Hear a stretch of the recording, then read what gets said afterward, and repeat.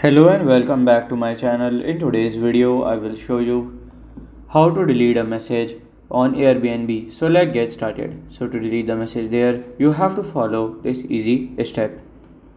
Just go it here and then you have to search like Airbnb. Then here we will just go to the website and from here you have to just log in in here and after there then you can uh, just like you can delete and then it will be done. So by this way you can do it and it's a way easy too so